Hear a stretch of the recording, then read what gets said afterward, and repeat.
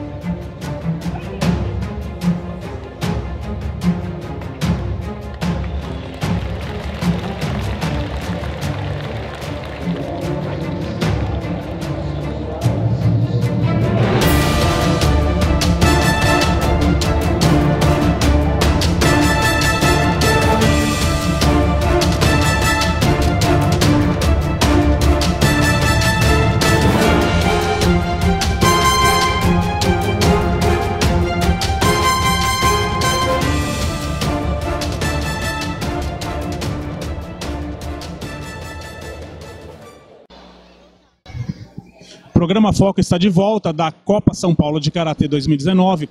Aqui do meu lado se encontra o presidente da Federação Paulista de Karatê, Zeca. Bom dia, Zeca. Muito obrigado pela sua presença. Gostaria que você falasse um pouquinho a respeito desse grande evento. A Copa São Paulo, nós já realizamos ela já há seis anos, né?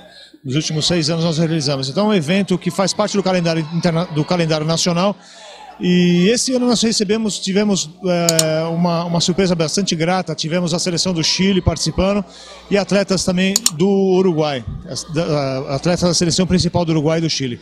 Então isso faz com que a gente, o ano que vem, façamos melhor do que esse ano.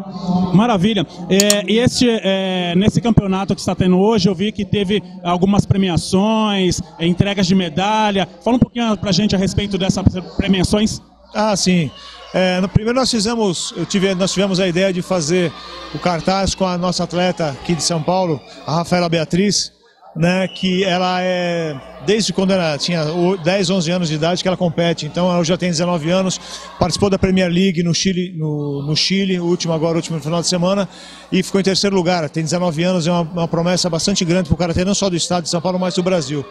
E aí recebi visitas aqui do vereador Caio, do Caio Miranda, recebi a visita do, do, do, do, do Grande Oriente de São Paulo, o Roque Cortez, representando o Grande Oriente do Estado de São Paulo, o secretário de Esporte Alex, aqui de, da secretário de Esporte de, de, São Bernardo do Campo.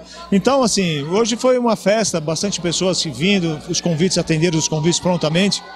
Então, só faz com que o evento seja cada vez mais grandioso. Assim, olha, é um orgulho para nós e para mim, da minha gestão, fui atleta durante muitos anos, é, fui técnico da seleção brasileira de karatê, passei por todas as fases, sou professor de karatê, fui diretor técnico da federação até chegar presidente. E eu tive uma grata surpresa, né, por poder estar tá podendo fazer isso nessa gestão. Porque assim, é, além de você querer fazer, não, às, às, vezes não é só você querer fazer, você tem que revelar e descobrir onde estão os atletas. Esse é o um, um, um X da questão, esse é o que é o mais difícil. E através, e aí tive a brilhante ideia de nós montarmos um departamento de karatê, né? Dentro da Federação Polícia Karatê e está dando muito certo. É um evento, os eventos que nós fazemos, nós fazemos, nós temos atletas síndrome de Down, cadeirantes, deficiência visual, é, nós temos meninos com, com todo tipo de deficiência, né? E o Karatê está aí para ajudar essas crianças e faz uma diferença bastante grande. Tanto é que nós temos hoje atletas que competem a nível internacional, que, estavam se, que se apresentaram aqui hoje. Nós temos o Jaime, o Jaime Ramírez, que é, ficou em terceiro lugar no último campeonato mundial né, para karatê, ficou em terceiro lugar. E temos a Débora, que é campeã mundial é, de para-karatê com deficiência visual, ela é totalmente cega. Então, assim, isso só nos enobrece e nos enche de orgulho de poder estar fazendo isso para todos eles. Maravilha. Muito obrigado, presidente, pela sua entrevista. Parabéns por esse evento, que é um evento maravilhoso, um evento muito bonito. Só quer deixar uma palavra final para quem nos assiste a, a respeito da, do karatê, a respeito do para-karatê? Sim, assim, olha, eu sou suspeito para falar que faço karatê há quase 40 anos, mas o karatê é, proporciona, proporciona uma qualidade de vida muito legal, aumenta a flexibilidade, aumenta a, a, a, sua, a sua habilidade, agilidade, você consegue conhecer seu corpo como um todo. O karatê tem essa propriedade de saber os seus, você descobrir os seus limites. Então, venha fazer karatê, faça karatê que você vai ver os benefícios, que, o quanto isso vai ser bom para a sua saúde. Muito obrigado. Os. Os. Os, bom dia a todos. Estou aqui com o nosso presidente da Federação Paulista de Karatê, professor Zeca, o nosso vereador na cidade de São Paulo, Caio Miranda, que está prestigiando a Copa São Paulo de Karatê 2019. Professor Zeca, como é que está indo a competição? O que, que você gostaria de destacar também? Eu queria agradecer primeiro a presença do, do Rock, o vereador Caio Miranda, que é muito importante para todo, para o esporte como um todo, para a federação como instituição, para mim como pessoa, para a proximidade com eles. E dizer que fiquei muito lisonjeado pelo reconhecimento que eu recebi aqui da Câmara Municipal na, na sessão que, nós, que teve. É, na oportunidade eu não pude ir, mas o, o professor Roque me, me representou e trouxe aqui hoje aqui para que eu recebesse em público aqui. Hoje a gente está aqui com 640 atletas. É um evento é, bastante importante, faz parte do calendário nacional, faz parte do ranking nacional esse evento aqui, que faz que somam, os atletas somam pontos. Do Campeonato Brasileiro, Campeonato, Campeonato, Campeonato Pan-Americano, Campeonato Sul-Americano e para as Olimpíadas do ano que vem, 2020 em Tóquio. Então, está aqui dada a importância disso tudo e nada mais gratificante a me receber. Isso do Caio Miranda, que eu conheci hoje, tive o prazer de conhecê-lo e muito obrigado pela presença de vocês. Só, só isso daqui que vocês fizeram só engrandeceu, só engrandeceu mais o evento ainda. Muito obrigado a todos. O que você gostaria de destacar desse evento, uh, presidente? Olha, nós estamos fazendo para Karatê, que é uma das poucas federações que desenvolve isso dentro do Brasil, somos nós. E nós temos atletas ali, o, o Jairo, o Jaime, perdão, que ele ficou em terceiro lugar no Campeonato Mundial uh, o ano passado. É, e tem assim, só vocês olharem bem o quanto o Karatê faz que pode ressocializar e ajudar essas crianças. Então é isso, eu destacaria isso, além dos grandes atletas que nós temos aqui, temos o Chile, participação do Chile, da, da, da delegação oficial do Chile, da delegação, da delegação oficial do Uruguai. Eles estão treinando para eles irem para, para, para a Premier League que vai ter semana que vem. Fizeram aqui, fizeram uma ponte e estão indo para lá. Então isso só engrandece cada vez mais o nosso evento.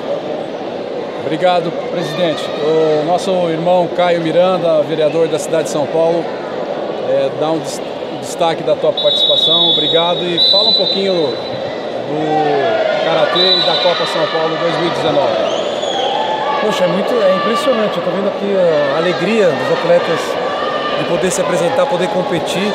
E eu acho que a juventude é o futuro. Se a gente não investir na juventude, não investir no esporte, não apostar é, né, nessa próxima geração, a gente não vai ter um Brasil melhor. E o que a federação está fazendo hoje aqui é dar para essa, essa juventude toda um grande palco à altura, competição oficial e estimulá-los para que sigam no caminho do esporte. É muito legal, estou muito feliz e acho que vou divulgar isso lá para minhas redes, para que mais jovens busquem karatê, um futuro bom. Esse é o caminho. Parabéns. Como karateca que sou, que fui, como técnico da, da seleção de Karatê do Paraná. Hoje, subindo mais um degrau na escada de Jacó, estou aqui na Federação Paulista de Karatê, é uma honra para mim estar participando. Estou aqui também representando o nosso grão-mestre Sereníssimo Camel Aref Sabe neste evento e ele também está disponibilizando todo o apoio do Grande Oriente de São Paulo dele para a nossa Federação Paulista de Karatê. Parabéns, Zeca, parabéns, Caio. Bom dia, hoje estamos aqui em São Bernardo, participando da Copa São Paulo 2019. Muitos já sabem, eu sou professor de karatê também e sou membro da Federação Paulista e estou aqui hoje, repórter por um dia, na nossa STTV, é, fazendo, acompanhando esse, esse evento. Estou aqui com o nosso vereador Caio Carneiro Miranda, da cidade de São Paulo, que está prestigiando o evento. Qual foi a sua impressão hoje, vereador, neste grande evento aqui, a Copa São Paulo 2019? Rock, foi sensacional, estou encantado. É, a gente tem visto aí a categoria das crianças, infantil, um altíssimo nível técnico. É, os para-atletas também, num nível excepcional, uma experiência incrível que eu tive de poder com, com o Jonas ver ele chutar a garrafa numa altura que eu sequer conseguiria alcançar. E acho muito importante, é o esporte profissional, é, numa etapa que vale pontuação, a Federação Paulista de Karatê é, fazendo o seu papel. Então foi muito bom estar aqui hoje e aprendi boas lições. Acho que a gente pode levar para São Paulo eventos desse porte, com apoio do poder público, para fazer com que o jovem acredite no esporte como um caminho para a vida. Eu, é, como professor também, vereador Caio, eu sou testemunha do benefício que as artes marciais faz, traz para quem pratica, especialmente as nossas crianças, nossos jovens que precisam tanto desse, dessa direção, desse caminho, para o caminho do bem, caminho do desvio dos vícios, da violência e das drogas. É, deixa uma mensagem aí para os jovens e para os nossos praticantes de karatê para a Copa São Paulo 2019. Olha, parabéns a todos que participam da Copa. Você que é jovem está no karatê, você está no caminho certo. Aliás, eu vou seguir o exemplo de vocês, acho que eu vou começar a praticar também. Estou sedentário. Saúde, só, você só tem saúde mental e física, só tem saúde mental e física se você pratica um esporte regularmente. Então, vocês que praticam karatê, nível de atleta, de federação, parabéns, contem com o nosso apoio. É, junto com você, eu também fui homenageado pela Federação Paulista de Karatê. Fala dessa homenagem, o que, que representa para você e também a homenagem que a nossa Câmara de São Paulo, através de você e do Instituto Inadem, fez para a Federação Paulista de Karatê e para o nosso presidente é, José Carlos de Oliveira, nosso conhecido e querido irmão Zeca.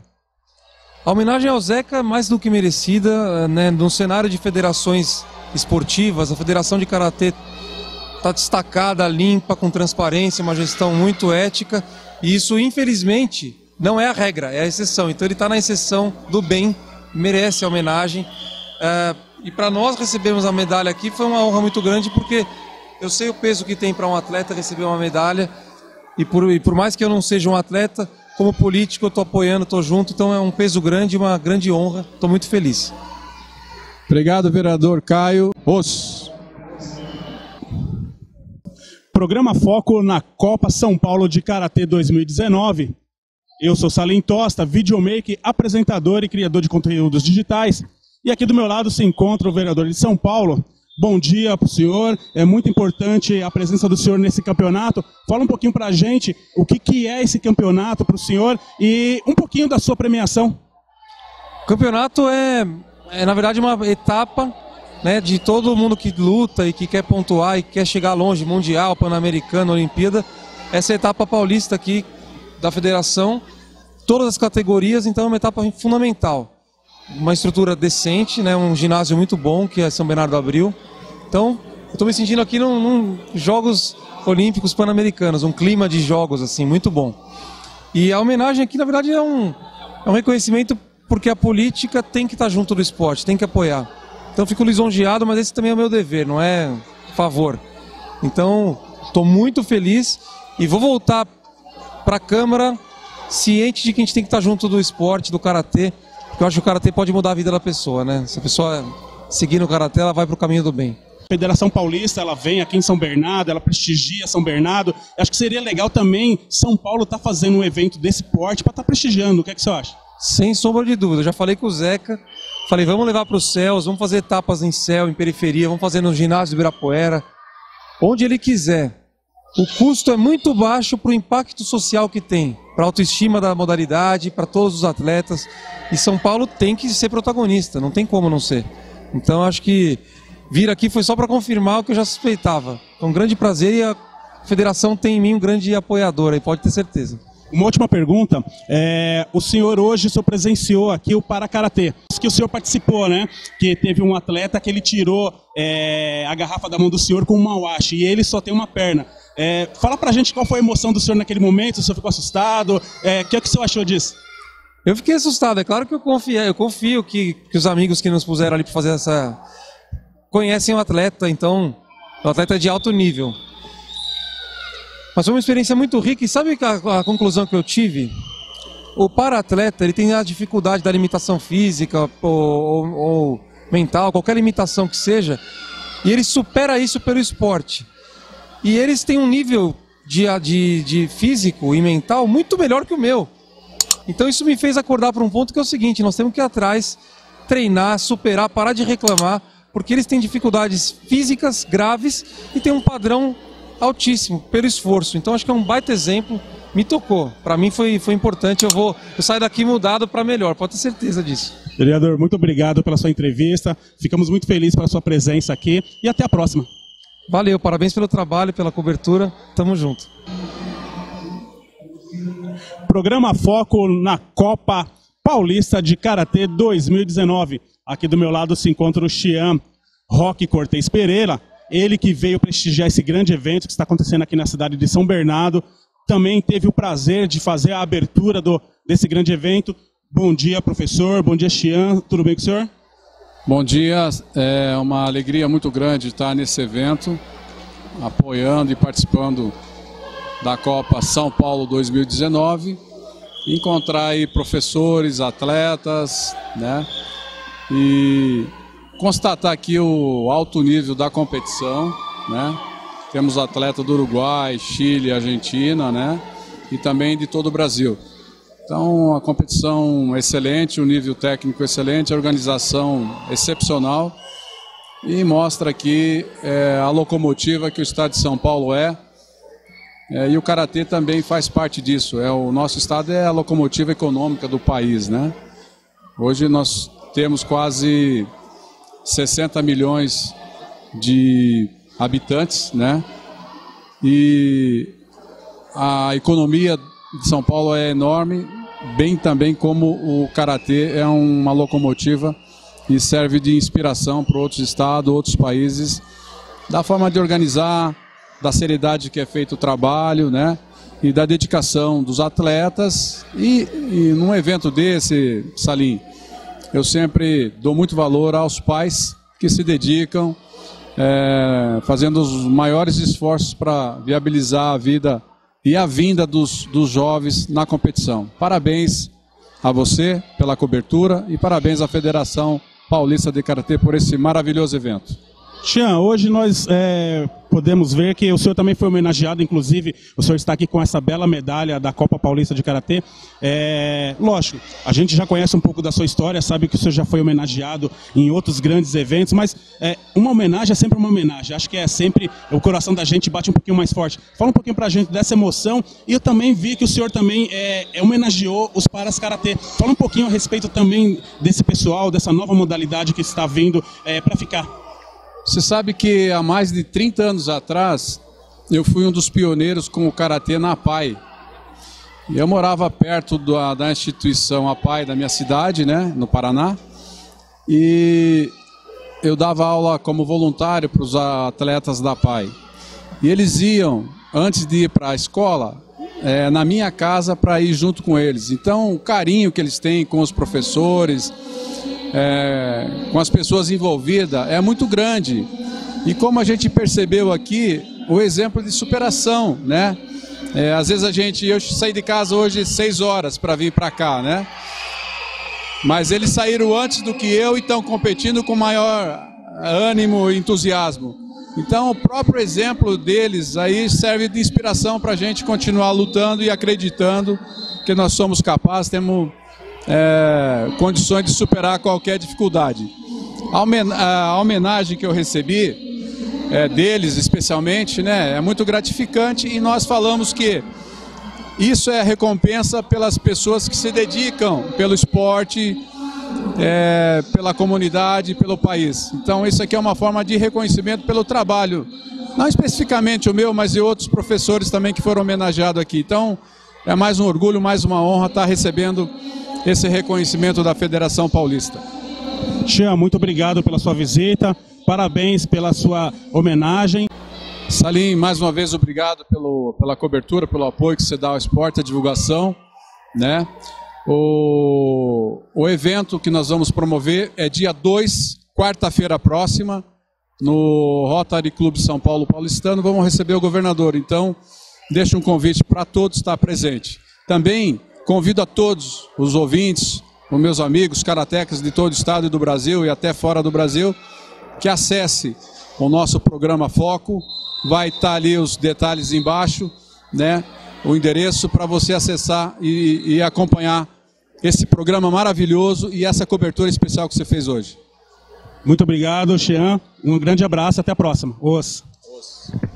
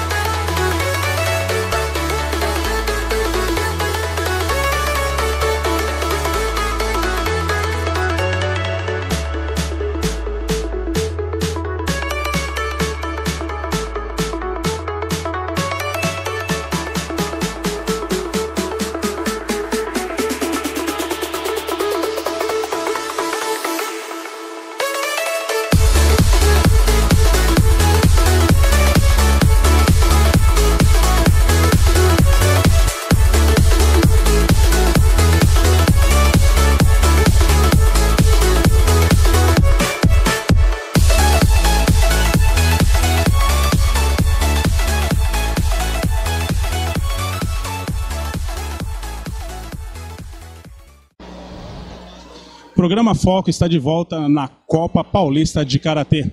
Aqui do meu lado se encontra o faixa preta Jaime Ruiz, ele que é do estilo Juriu, e como nós podemos ver, ele é cadeirante e faz parte da equipe de Para Karatê.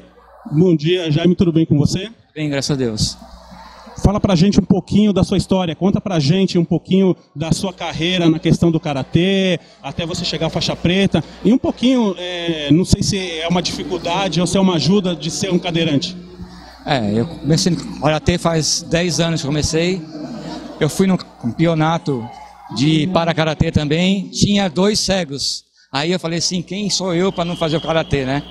Perto de dois cegos fazendo, eu não fazer. Aí comecei, há 10 anos atrás, como eu disse, né? Aí comecei, fui campeão paulista uma vez, aí fui brasileiro, aí fui de novo, fui, cheguei ao PAN do Chile, trouxe bronze para o Brasil, no Chile o ano passado, no Pan-Americano. Aí eu fui para a Espanha, Mundial, em novembro do ano passado, fiquei com bronze, sou terceiro do mundo, campeão terceiro do mundo, né? E agora, em março, eu trouxe o ouro para o Brasil no Pan-Americano no Panamá.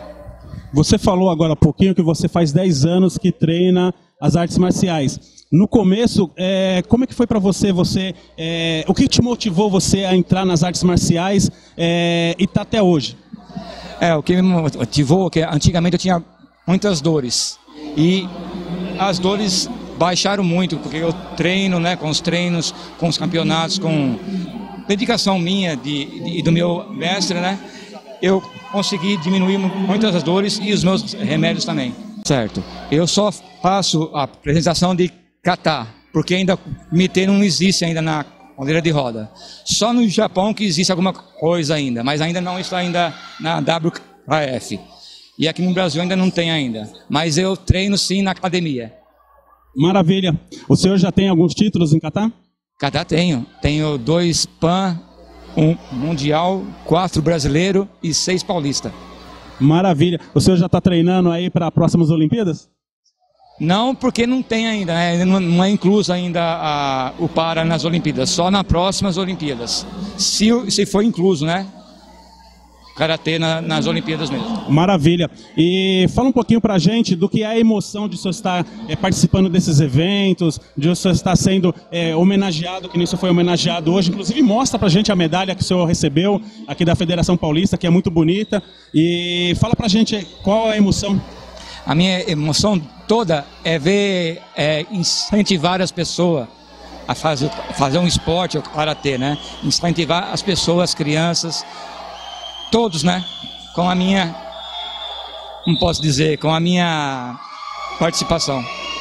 Para a gente finalizar, é, eu deixo aberto o microfone para o senhor para o senhor falar o que você achar legal, dar um conselho, chamar as pessoas para ter um pouco mais de incentivo, porque a gente, hoje em dia, é, a gente vê tantas pessoas aí é, com a saúde plena e sempre vive falando, ah, eu não tenho tempo para fazer isso, eu não tenho tempo para fazer aquilo. Então deixa uma mensagem para a gente.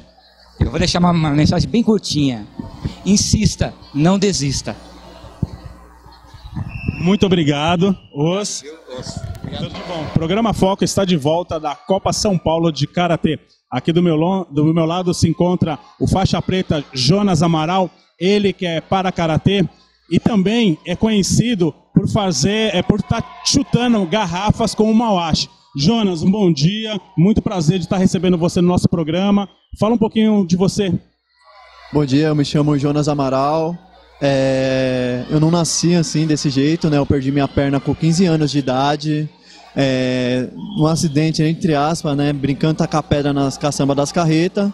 Acertamos um carro, esse carro voltou com duas motos e atirou para cima da gente, né? Eu fui acertado por oito disparos e infelizmente tive que amputar minha perna. E meu amigo que estava comigo levou um tiro na coluna e acabou ficando paraplégico. E você nessa época, você já fazia alguma arte marcial ou você optou em fazer as artes marciais depois do seu acidente? Nessa época eu não fazia nenhuma arte marcial, sempre tive vontade, né, assistir a filme como do Van Damme, Jack Chan, é, animes como Cavaleiros dos Zodíacos, Dragon Ball, né? Mas foi só depois que eu perdi a perna que realmente eu comecei a praticar esporte. Jonas, me fala um pouquinho é, da sua, da sua é, carreira nas artes marciais? Porque a gente sabe que são, é um longo período de você, desde a faixa branca até a faixa preta, é um, tem um período muito longo. Fala um pouquinho pra gente desse período é, e as dificuldades que você teve no começo em estar tá se adaptando nessa grande arte. Então, no começo, é, eu fui jogar tênis de mesa né, no ginásio Hermínio Espósito, né, em Budas Artes, né? E estava acontecendo uma aula de jiu-jitsu, né? Jiu-jitsu é praticamente 90% solo, né? Luta no chão.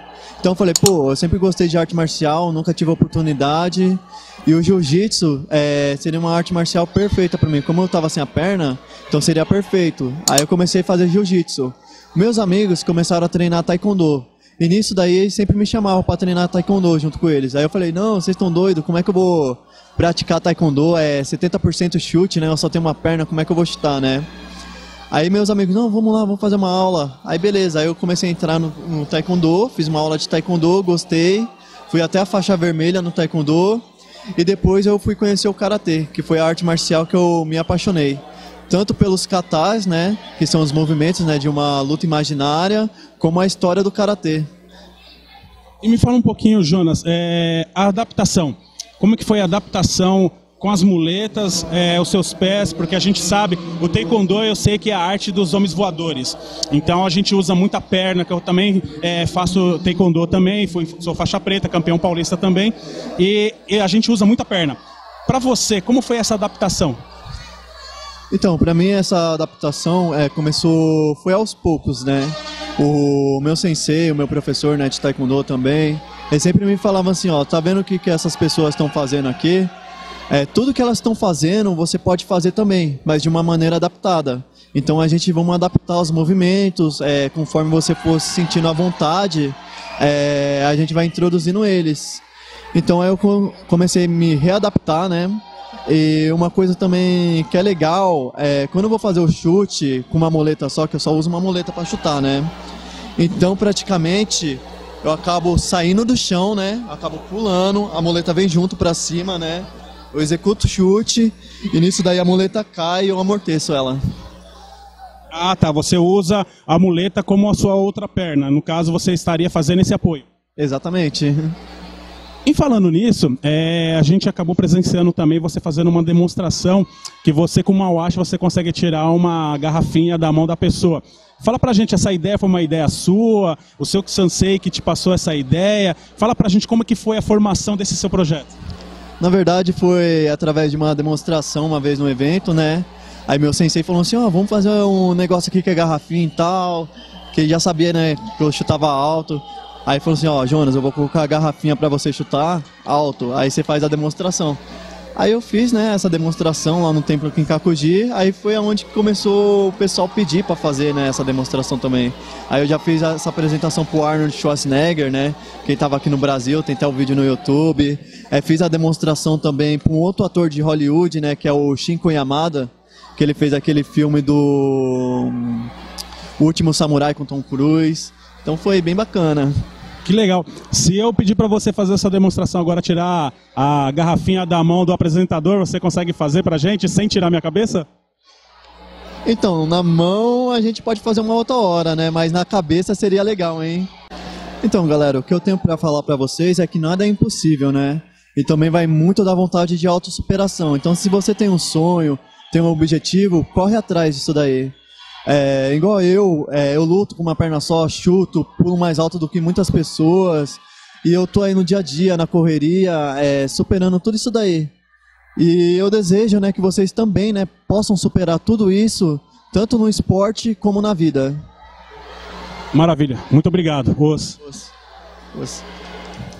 Pessoal, é, eu acabei de entrevistar o Jonas e ele tem uma, uma técnica, ele faz as apresentações que ele tira uma garrafinha é, da mão da pessoa com uma washi. Vocês perceberam que ele é um atleta que ele só tem uma perna, consegue tirar a garrafinha da minha mão. Ele falou assim: Eu não consigo tirar a garrafinha da sua mão, eu consigo tirar da sua cabeça. E olha só a situação que o apresentador se pôs. Ele vai tentar tirar essa garrafinha da minha cabeça. A responsabilidade do Jonas. Jonas, você garante isso? Bora. Garanto, vamos lá. Maravilha, então vamos lá, pessoal, vamos acompanhar.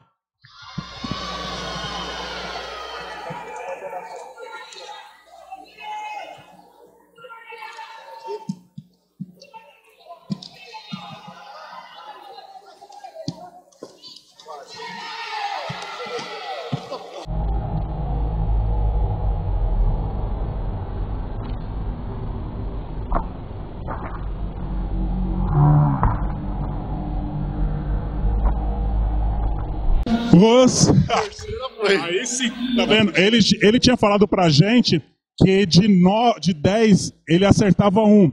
Ó, ele fez três, então ele, ele tá bem acima da estatística. Jonas, muito obrigado. Eu agradeço, Os, boa sorte, sucesso demais na sua carreira. Obrigado, hein? Programa Foco diretamente da Copa São Paulo de Karatê.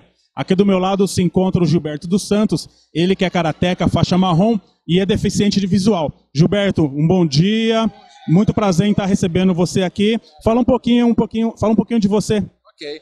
Eu sou Gilberto dos Santos, eu tenho 38 anos. Sou deficiente visual total desde os 10 anos, devido ao descolamento de retina. E estou no Karatê já há 16 anos aí, lutando. Hoje já na faixa marrom. E aos pouquinhos galgando aí para tentar chegar na preta, né? Entendeu? Nosso objetivo aí tá sempre evoluindo e alcançar cada vez mais espaço, né? E mostrar que todos nós podemos e temos capacidade. Gilberto, fala pra gente um pouquinho é, de como você se adaptou porque a gente sabe que o karatê é bastante visual. É, e como que você consegue? É, já existe literaturas é, na sua linguagem? Uhum. Bem, assim, como eu comentei, eu comecei há 16 anos, um amigo que me chamou para conhecer um projeto, né, um projeto que a faculdade tinha, que era a Unicastelo. E é, o professor, naquele tempo, foi começou esse projeto, um karatê adaptado. Ele foi adaptando do modo dele, né? Ainda não tem assim, uma, uma literatura própria, entendeu? Mas aos poucos está se adaptando, se arrumando um jeito, um treinamento específico, né? E já 16 anos estamos aí, né? Aplicando parte do Xia, Kiron, e aos pouquinhos estamos alcançando cada vez mais. Fala para mim dos seus títulos. Então, é, na verdade, quando eu comecei há 16 anos, a gente participava muito de torneios específicos, campeonato, entendeu? Agora que eu tô mais nesse novo projeto com o Oscar, o Pacate, que a gente tá começando a se apresentar mais, entendeu? Então, estamos aos pouquinhos aí. Participamos aqui hoje, né, do, do da Copa São Paulo aí. É, semana passada a gente participou também da Vila Formosa, é, também na semana anterior São Carlos também um evento, e aos pouquinhos estamos aí. Muito legal. Muito obrigado pela sua entrevista. Boa sorte e felicidade. E continue sempre nessa luta. Estamos sempre aí. Obrigado por tudo aí. Todos nós estamos lutando aos poucos, né? Para provar que todos nós temos capacidade. Independente da limitação ou não, todos nós somos capazes de alcançar. Muito obrigado. Eu ia pedir para você deixar uma mensagem, mas você já acabou deixando essa mensagem. Muito obrigado, Os. Programa Foco está de volta na Copa Paulista de Karatê. Aqui do meu lado se encontra o sensei Oscar Garcia, ele que é coordenador geral do Para Karatê na Federação Paulista de Karatê. Boa tarde, Oscar. Muito obrigado pela sua presença, pela sua entrevista. É, fala um pouquinho pra gente do que, que é seu Para Karatê e o que, que é a Federação Paulista de Karatê.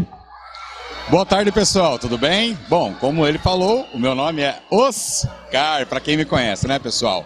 Então, eu sou coordenador, coordenador geral do Parakaratê no momento, né? Eu não sou, eu digo que eu estou, né? E o departamento de Parakaratê ele vem trazer a inclusão para as pessoas com deficiência, para mostrar que tudo é possível naquele que crê. E nós temos que crer em quem? Em nós mesmos, né? Então, assim, estamos efetuando um, um trabalho de fomentação, porque é, tem muitos dojos espalhados por aí que às vezes o Seisei ele tem um atleta com deficiência, mas ele não, não vê um meio de socializar ele, trazer ele de volta para a sociedade, né? E nós, com esse departamento que foi criado pela federação, estamos trazendo isso. Começamos.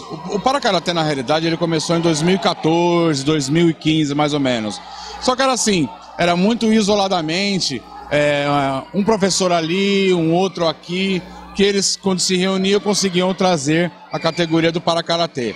Agora em 2019, não. Agora em 2019, realmente ele está aberto, estamos fazendo a fomentação, já fizemos campeonatos com mais de 30 para atletas. Hoje aqui na Copa, na nona Copa São Paulo, tivemos 22 participantes e assim estamos indo. É, eu vou começar por fase, né? É, eu comecei a praticar karatê com 12 anos de idade. E aí eu tive um, uma pausa com 17 anos, que eu fui desenvolver outros projetos na minha vida, né? E tive que dar uma pausa. Com de 24 a 25 anos de idade, eu sofri de uma doença chamada polioneuropatia, que ela comprometeu a bainha mielina dos meus nervos, né? des- desfazendo, desintegrando. É como se fosse você pegar um fio de cobre e aqueles fios e você querer só o cobre você queimar. Então assim, eu perdi todos os meus movimentos, perdi os, os meus movimentos é, das, das pernas, dos braços e até mesmo da visão. E aí com o tempo, passar dos anos, tratamento, enfim, é um é uma história longa, vou resumir. E aí encontrei com um dojo que ministrava aula em Tapsirica da Serra com Sensei Antônio Nascimento. E aí até aí eu fui lá, conversei com ele, via se ha- havia possibilidade de eu fazer karatê. E ele falou que sim, que poderíamos fazer um teste, né? E aí eu comecei a fazer. Então assim, nisso já se passaram três anos e eu acabei voltando para a Federação Paulista de Karatê para colocar esse projeto em prática do Parakaratê. Porque assim, pessoal, eu como paratleta, eu sentia muito fal muita falta de campeonatos ter a categoria, de em cursos se ver uma pessoa com deficiência, né? Então assim, eu fui abrindo é, que a pessoa com deficiência, ela é bem aceita assim. Né? É só a questão de bater a porta. Ninguém entra na casa da outra sem que se abra, se bata na porta ou se toque a campainha, né? Só que assim, a- na questão da pessoa com deficiência, nós tomamos tanta negativa na vida que às vezes nós temos é, uma, uma rejeição em fazer esse pedido ou em fazer essa proposta, em procurar nossos direitos ou em acreditar em nós, né? Então, muito, muito para atleta fica meio arredio. Então, viemos abrir essa porta. Na questão do outro assunto, em questão de trabalhar com pessoas de deficiência, olha, Salim, é uma coisa, cara, que não tem preço. Eu tenho, eu tenho tido contato com, com professores e a resposta de praticamente todos é a mesma. É um trabalho que não tem preço, o resultado é totalmente diferente.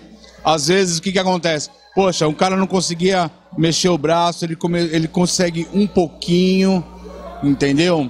É, um chute ele não, não conseguia, ou um déficit de atenção, entendeu? Tem aluno que demora com problema de autismo, né? Com a doença de do autismo, demorar para tirar uma meia, para colocar um kimono, demora seis meses. O Sensei Sérgio Longo tem esses casos, né, para contar. E, mas, cara, quando, quando a realização vem, eu falo que é assim. O que, que acontece? É como plantar uma sementinha de qualquer árvore. Você planta, aí você vai regando, regando, regando, regando, regando. Ela vai crescendo. E você tá ali louco para pegar o fruto, mas demora. E quando vem o fruto, Salim, vem de uma vez. É maravilhoso, cara. Esse pessoal aí tem muita história para contar. É, as pessoas ficam emocionadas, mas assim, pessoal, o que eu vou falar para vocês assim, nenhum dos paratletas que tanto no karatê ou no paradesporto, não olhem eles como coitadinhos não, viu? Tá? Porque de coitadinho, pessoal, pelo menos, vou dizer assim, o pessoal que conheço bem do para-karatê, não é não, viu? Maravilha. Oscar, só para a gente finalizar a matéria, é, você como coordenador da Federação Paulista de Karatê, você pensa em estar criando uma competição como essa aqui, por exemplo, só de para-karatês, ou é, ainda está um pouquinho longe essa ideia e, e o para-karatê ele vai estar participando junto desses, dessas modalidades que já estão existindo? É, então, a ideia, sim, nós temos essa ideia sim, mas assim, o legal é o quê? Nós não fazermos uma divisão, tá? Nós queremos, assim, sempre estar juntos das outras pessoas. Seria até, vamos supor, entre aspas, fácil fazer uma competição com para-atletas, mas não tem nada mais gostoso de- do que estar no meio das outras pessoas. E é isso que nós queremos, não nos separar, nós queremos estar juntos. Só que, falar um pouquinho para vocês aqui, pessoal, sobre Olimpíadas de 2020, que vocês sabem muito bem que o karatê ele foi implantado, né? E o pessoal tá meio chateado porque o karatê talvez não continue, né? Segundo o que vem se falando que não estará, não estará no- na Olimpíada de 2024. E aí eu pergunto para você, o para karatê não entrou nas Olimpíadas de 2020 o que, que nós estamos pensando. Olha só, pessoal, estamos pensando, mas assim, primeira coisa para se tornar realidade, temos que ter a ideia. Eu tenho ideia como coordenador de fazer um mundialito, tá, para o para karatê. Então já tenho contato com alguns outros países, né? como Espanha, Portugal, Chile, enfim, e tentar trazer esse pessoal para cá. Programa Foco de volta da Copa Paulista de Karatê. Aqui do meu lado se encontra o Pedro Oshiro, ele que é o é, vice-presidente da Federação Paulista de Karatê e também já foi presidente da Federação Paulista de Karatê. Muito bom dia. bom dia. Estou muito feliz pela presença do senhor aqui. Gostaria que o senhor falasse um pouquinho do senhor, um pouquinho da história da Federação Paulista de Karatê. É, é, é realmente o, o, mais importante para todos nós, a alegria, tudo, é, uma, é continuidade, né? Então, quando a gente vê realmente a continuidade do trabalho, é o nosso sucesso. Então, a gente sempre está, tem que estar compartilhando, participando e colaborando tudo naquilo que é possível. Muito bom. É, o senhor já está há quantos anos nas artes marciais? Conta um pouquinho da história do senhor nas artes marciais. É, minha vida do karatê comecei pequeno, né? E aí comecei assim treinando, treinando. Hoje praticamente estou completando praticamente 55 anos de karatê, treino de karatê, né? E como a gente diz assim, como é importante, né? É importante porque isso faz muito bem e hoje estamos muito contentes, né? Pela assim, quantidade de participantes, o para karatê, né? Que vê que realmente essa evolução é muito importante para karatê. Então, sempre estamos muito agradecidos, muito obrigado sempre. E eu que agradeço a presença do senhor e fico honrado por estar entrevistando uma grande lenda do karatê aqui no nosso país. É, como diz, unidos venceremos. Unidos venceremos. Os. O programa Foco está de volta da Copa São Paulo de Karatê. Aqui do meu lado se encontra a Karateca Faixa Preta, ela que é a Rafaela Beatriz. E hoje aqui nesse grande evento ela foi homenageada com um grande banner com a fotografia dela. Tudo bem, Rafaela? Tudo, tudo sim. Rafaela, maravilha. Me fala um pouquinho da sua, eh, da sua é, formação no karatê, como que você começou a treinar karatê e fala um pouquinho da, da, do campeonato que você participou, que motivou também esse grande evento e a sua foto ali então, eu comecei o karatê com sete aninhos. Comecei o karatê na escola com o professor Ronaldo. E depois eu mudei para uma academia, comecei a treinar com o professor Gladson. E agora eu treino com a professora Carolina Ramalho. Aí, esse campeonato no Chile foi muito importante para mim. Era uma conquista que eu queria muito, que eu almejei demais. Eu me esforço diariamente por isso e graças a Deus deu tudo certo. E se Deus quiser, vem muita coisa boa ainda na caminhada qual que é o seu objetivo no, no Karatê? É, nós sabemos que o Karatê hoje ele ainda não faz parte das Olimpíadas, mas eu acho que o seu treinamento, eu acho que a sua vontade é de um dia ser, ser uma atleta olímpica, não é isso? Sim, é meu sonho, desde, desde sempre. O que é para você ver sua foto e você sendo homenageada nesse grande evento? Eu cheguei aqui, eu fiquei muito emocionada. Eu e minha professora nos emocionamos muito.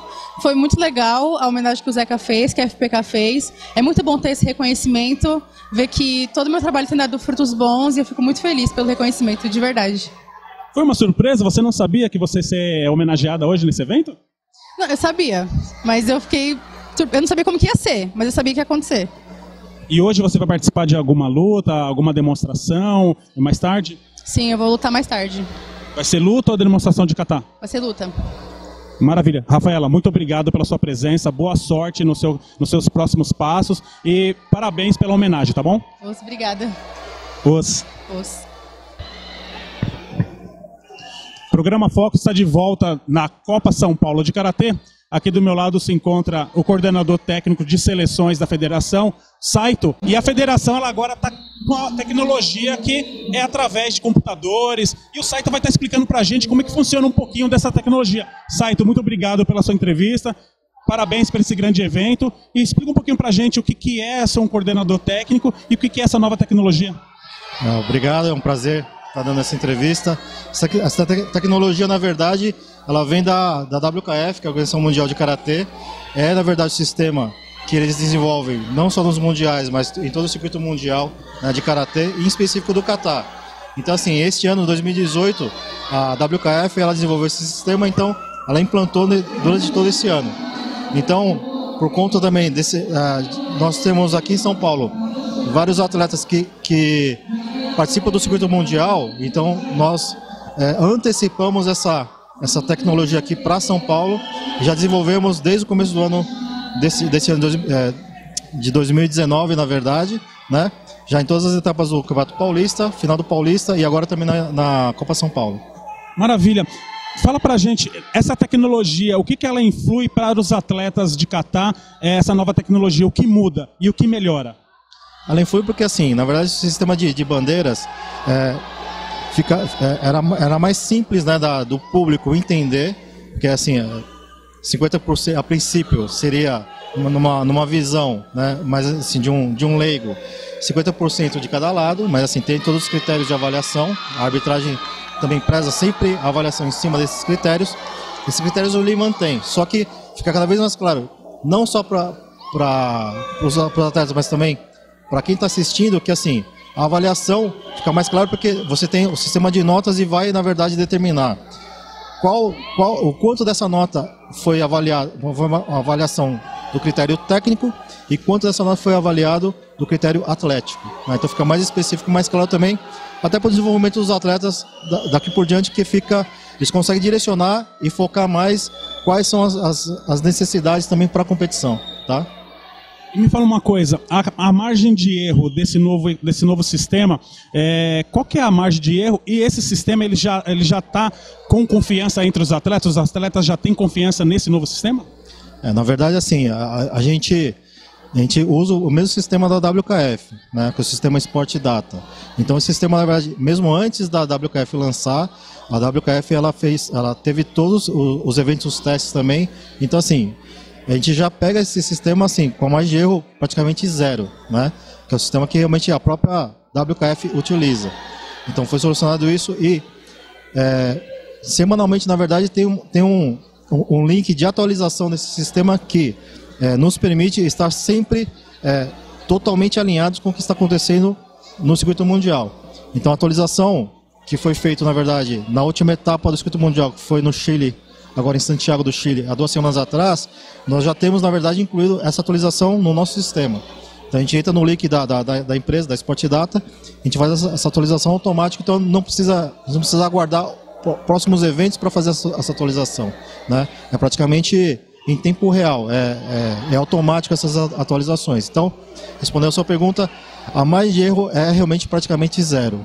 Né? Muito difícil realmente de, de acontecer esse erro, porque assim, todas as, as é, os cálculos já foram feitos e foram testados, na verdade. Né? Então, como a gente tem essa segurança de, da própria WKF já ter, ter- ter feito todo essa, esse ajuste de- desses testes aí, tá bom?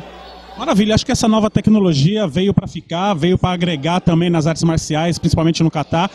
É, na verdade, assim, a confiança, na verdade, é a mesma, né? Porque a arbitragem realmente sempre foi direcionada na avaliação em cima de- do- do- dos mesmos critérios. A, única de, realmente diferença é assim, é a clareza, né? E, e, e, e- mais dados para os atletas também para estar trabalhando de uma forma cada vez mais minuciosa, cada vez mais detalhada e realmente de, aí, aí a gente consegue realmente falar de alto rendimento, né? de, de um direcionamento para um, um atleta de alto rendimento. Maravilha. Só para finalizar, é, coordenador técnico de seleções, explica para a gente o que é um coordenador técnico de seleções e qual é a função. É, na verdade, eu já passei né, pro, pro crivo de, de ser técnico da seleção. Eu fui atleta de seleção também, paulista e brasileira. Aí tive a honra de ser convidado para ser técnico da seleção paulista. E, e agora, na verdade, estou numa outra fase que é, eu, eu coordeno, participo do trabalho de coordenação dos nossos técnicos da seleção paulista. né? Então a gente tem, na verdade, hoje 35 técnicos na seleção paulista, que atende, na verdade, a, a gente tem uma, as categorias, na verdade, hoje no Brasil, né, das nossas competições, tanto em São Paulo como no Brasil, na, na confederação, elas são praticamente é, 239 categorias individuais. Então a gente precisa realmente de um número maior de, de, de, de técnicos para agregar e, e auxiliar, na verdade, todas as faixas etárias de, de seleções, desde o do infantil até realmente da categoria Master. Tá bom? Maravilha, Sato, muito obrigado pela sua participação e sucesso nessa nova tecnologia. Tá, muito obrigado, é um prazer. O programa Foca está de volta, diretamente aqui da Copa São Paulo de Karatê. Do meu lado se encontra o Hélio, ele que é diretor adjunto da Federação Paulista de Karatê. Boa tarde, Hélio. Muito obrigado pela, pela sua entrevista, muito obrigado pela sua disponibilidade. Explica pra gente um pouquinho o que é ser é, diretor adjunto da federação. Bem, a função do diretor adjunto é praticamente auxiliar o diretor responsável é, que está à frente. Tá? Nesse papel, nós desenvolvemos toda a, a, o, a programação do evento, o controle de arbitragem, a preparação dos árbitros para poderem atuar na, nas etapas que acontece da, dentro do, da federação e convocação, o, enfim, é um trabalho em todo junto com o diretor de arbitragem, tá? Esse papel é constante, todo, todo dia nós trabalhamos em conjunto, é, fazemos uma reunião na federação para poder desenvolver melhorias dentro da, da arbitragem, onde é, organizamos cursos e palestras com nossos árbitros, selecionamos alguns para trabalhar somente com o Catar é, em, em especial, tá? É, porque de, é, temos o, o, pessoal da seleção, fazemos parte do projeto olímpico junto com o nosso é, coordenador Geraldo de Paula e a comissão técnica também da Federação Paulista de Karatê. Esse é o nosso trabalho hoje. Hoje nós estamos com quantos árbitros aqui? 65 árbitros. Esses árbitros, eles têm que ser faixa preta é, em karatê, ele tem todo um treinamento. Explica pra gente como é que é a formação desses, desses profissionais. Bom, o árbitro ele tem que ser karateca. Ele, quando atinge a primeiro dan, que é a primeira graduação do faixa preta, ele entra para o curso de, de arbitragem. E aí ele vai galgando o seu credenciamento. Ele pode ser um árbitro nível C, B, A. Aí ele vai para referee, é o B e o A também. Aí eles, isso é nível é estadual. Depois ele vai para o nacional. E aí ele vai para o mercado internacional. Muito legal. E hoje em dia nós temos muitos árbitros que, que eles estão no mercado internacional, que foram direcionados pela federação? Aqui de São Paulo hoje nós temos uma média de 12 a 14 árbitros internacionais. Inclusive hoje tem oito árbitros participando nesse evento. Que legal, isso é muito importante, acho que para a federação, né? É ter toda essa gama de profissionais, até mesmo porque também é, dá uma segurança para os atletas, não é isso? A federação tem nos incentivado constantemente a participar dos cursos que são realizados nacional e internacional. Para os atletas é importantíssimo ter um árbitro qualificado para que ele não cometa erros e não, não classifique para uma etapa final, um nacional, ou até mesmo para ir para o internacional, é, de maneira errada. Então o árbitro precisa ter muito conhecimento, ele tem que estar estudando constantemente. Até esse momento, qual a sua estatística a respeito dessa Copa? É, o que, que o senhor está achando dessa Copa? O que, o que já está trazendo de, é, de legal para os competidores? Bom, essa Copa ela é extremamente importante porque assim, ela não é uma Copa nacional, ela é uma Copa internacional. Temos aqui o Chile, o Uruguai, é, já tem para o próximo ano promessas de mais países estarem participando dessa Copa. É, para os atletas que do, do sênior, eles entram no ranking, isso é importante. É uma Copa que hoje só temos a falar bem não só a arbitragem, como os atletas. Primeiro nível. Maravilha, muito obrigado. Eu acho que é muito importante para todo mundo e até mesmo para os atletas é, que fazem do karatê essa arte marcial tão bonita. Bom, em nome da Federação Paulista de Karatê, eu que agradeço essa oportunidade de poder demonstrar um pouco do, do nosso esporte. Muito obrigado. Muito obrigado. O programa Foco está de volta na Copa Paulista de Karatê. Aqui do meu lado se encontra Geraldo de Paula, ele que é head coach da Federação Paulista de Karatê. Boa tarde, Geraldo. Muito obrigado pela sua visita, pela sua entrevista. Fala um pouquinho pra gente o que é head coach e quem que é o Geraldo de Paula. Primeiro, boa tarde, Salinho. Obrigado aí pela entrevista. É, a minha função de head coach da Seleção Paulista é, acaba sendo bastante ampla no sentido de trazer novos talentos técnicos, né, de técnicos mesmo para a Federação Paulista de Karatê de atletas novos, né, de revelação de atletas. É, estou sempre de olho nos atletas novos que estão aparecendo. E hoje aqui é uma grata oportunidade também, já que a gente está perto aí do Campeonato Brasileiro, é, a gente vai escolher aqui também alguns atletas que vão representar São Paulo é, na, na, na, equipe de comitê para o próximo Campeonato Brasileiro. Maravilha. É, eu, eu vi, não sei se, se, é verdade, mas me passaram que o senhor também é técnico da, da, da seleção brasileira de, de karatê, é isso? Bom, eu já fui coordenador técnico e já fui técnico da seleção brasileira durante bastante tempo, assim, bastante, uns 10 anos, né? Atualmente não. Atualmente tem gente aí mais competente é, para fazer esse trabalho. O Brasil está muito bem servido na seleção brasileira. Mas é sempre um prazer contribuir sempre a, a, através do Estado de São Paulo para que a seleção brasileira esteja cada vez mais bem representada no exterior. Maravilha. O senhor também é escritor, né? E o senhor escreve a respeito das artes marciais. Fala um pouquinho desse seu hobby de ser escritor e escrever a respeito das artes marciais. Então, é, eu gosto muito de escrever. Eu, eu tenho esse, esse, essa, essa coisa de, da escrita, de colocar no papel aquilo que eu sinto, né? É, durante muito tempo. E eu consegui, eu escrevi um livro que já está esgotado e está tendo uma segunda reedição agora. Estou indo para o segundo, que está no prelo, né? Provavelmente em janeiro a gente já vai estar tá lançando. E além de ser um passatempo, é uma contribuição minha com a pequena experiência que eu adquiri dentro do karatê para contribuir um pouco com o aprendizado dessa nova geração aí. Qual é o título do livro? O primeiro, o primeiro é Karatê Esporte, Karatê Esporte, Táticas e Estratégias. E esse segundo é Alto Rendimento dentro das artes marciais. É, o primeiro livro, que é o Karatê, Tática e Estratégia, ele está em todas as livrarias. É mais fácil encontrar na livraria, livraria Saraiva. Ele foi editado pela editora Ibrasa. É, a minha rede social é Geraldo de Paula Rotina e é, pode me adicionar lá que a gente pode conversar sobre qualquer assunto relacionado a karatê e, e fotografia também. Maravilha. A gente já está chegando no final do campeonato. É, Passa para a gente qual foi a sua expectativa desse campeonato e o que o senhor achou dessa Copa. Olha, essa Copa uh, ficou abaixo das expectativas com relação a, ao número de participantes, né?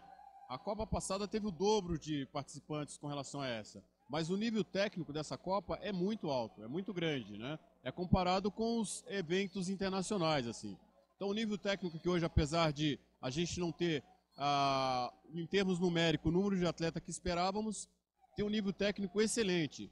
É, quando se fala assim que é abaixo das expectativas, que é, em, em, torno de 800 participações, para São Paulo é pouco, né? Para determinados lugares aí é tamanho de um país, é uma competição nacional, né? Mas para São Paulo acaba sendo pouco. E, mas a expectativa com relação ao nível técnico foi o melhor esperado. Muito bom. Muito obrigado pelas suas informações, muito obrigado pela sua participação no programa Foco e estamos à sua disposição.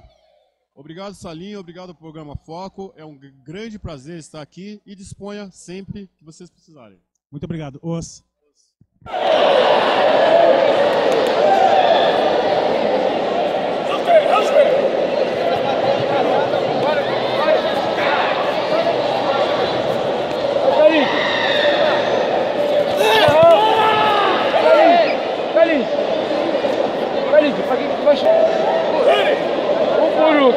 Faz o primeiro tom.